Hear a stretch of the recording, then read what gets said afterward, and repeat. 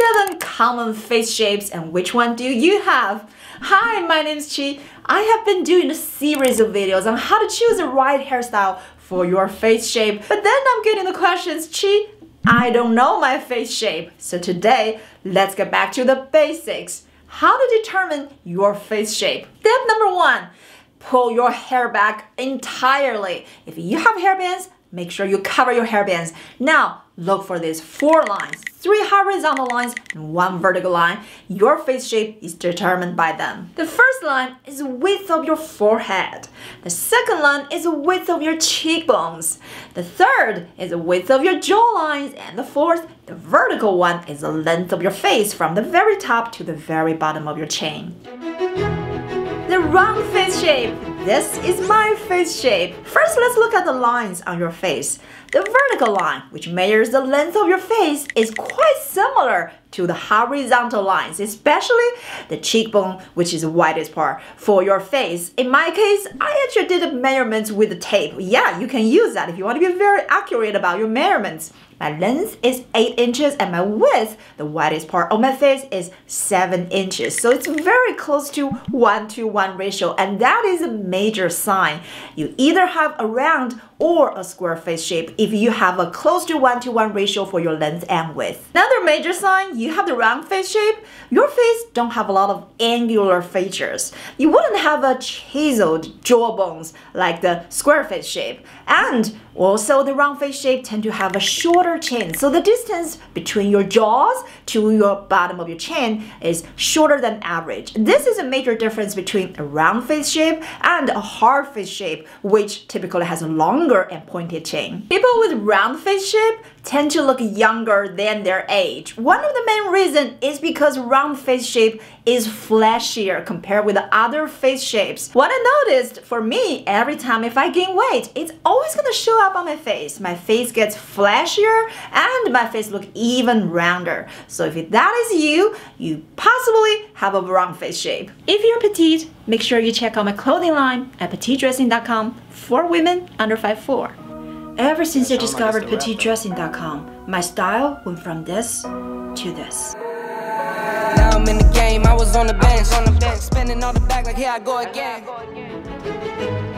Square face shape. Square is very similar to the round face shape in terms of the ratio for the length and width of your face.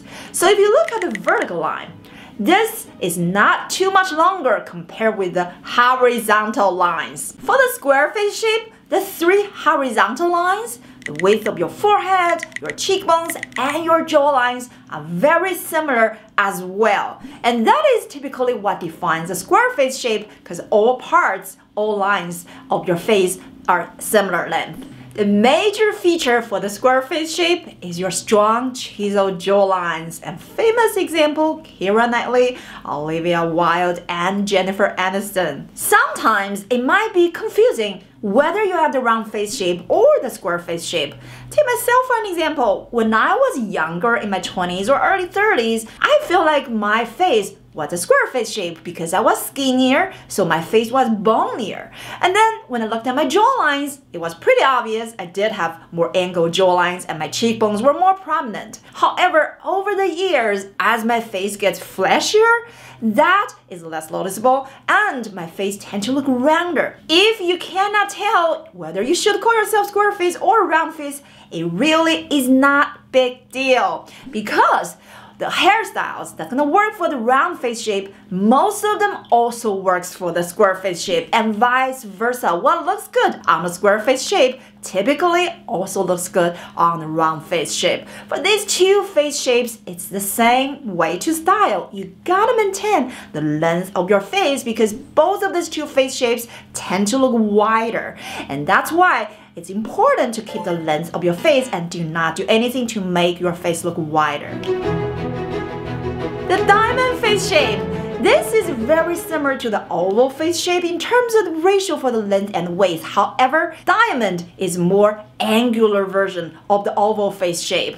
If you look at horizontal lines, the widest part is going to be your cheekbone width. So the second line the width of your cheekbones is wider compared with the first line, the width of your forehead, and the width of your jawlines. Typically, a diamond face shape also have strong, prominent cheekbones and a pointy, angular shaped jawlines.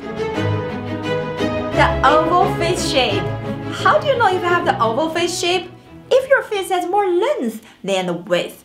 So if you see the vertical line, is significantly longer compared with any of the horizontal lines, chances are you may have the oval face shape. The widest part of your face is probably the cheekbones, but sometimes they can be very close to the width of your forehead. But the width of your jaws are gonna be shorter compared with your cheekbone width. A typical oval face shape don't have a lot of angular lines, so you will not have strong chisel jawlines like the square face shape or a pointy, sharp chin like the heart face shape. Here's something very interesting about the oval. Everybody else is saying that you have the most perfect face shape and therefore any hairstyle is gonna look good on you.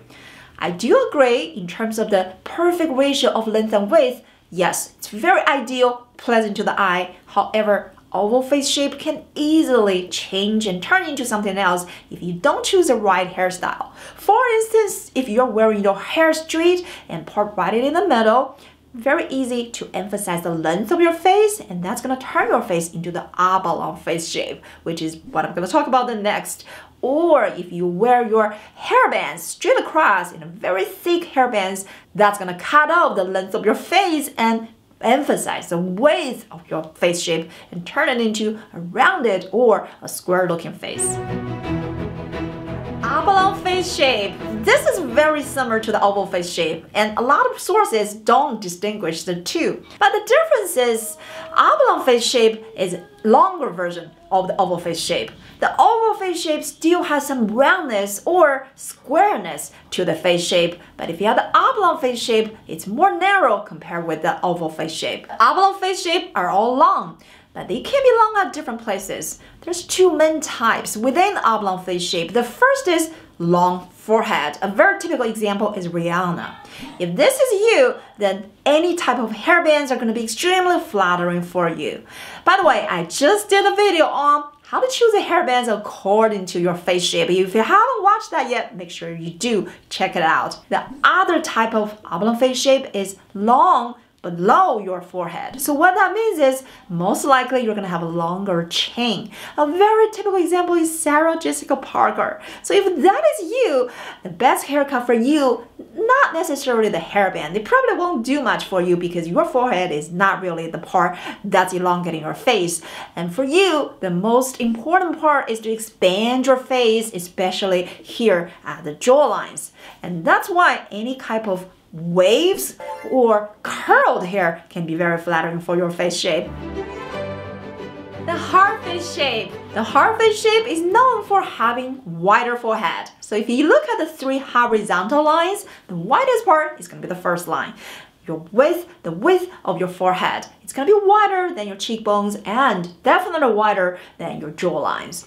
A typical heart face shape also have a pointed chin. A famous example is Reese Witherspoon. Another major giveaway for the heart face shape is the hairlines. If you have a pointy hairlines here, chances are you may have a heart face shape. In terms of the ratio for the length and width of your face, the heart face shape doesn't come across as too long or too wide. Because the heart face shape has a prominent forehead, if you don't wear any hairbands, they might become the focal point of your entire face. If you want to balance that out, any kind of hairbands are going to be very flattering for your face shape.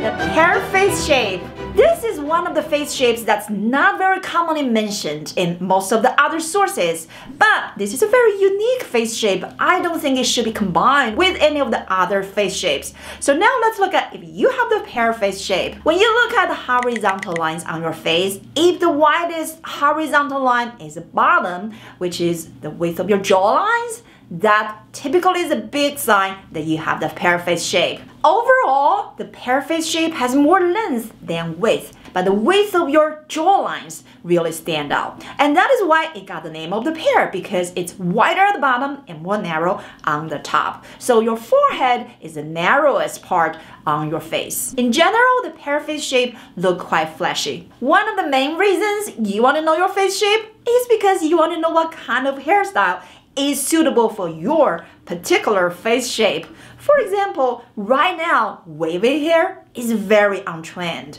Everybody is trying to do it at home or in the salon to get those nice beautiful waves. But did you know that not all the face shape is suitable to have curly or wavy hair? I didn't know that. Well, I always knew that I looked better in straight hair, but I didn't know that has something to do with my face shape. So watch this video. Is your face shape more suitable for straight hair or wavy curly hair?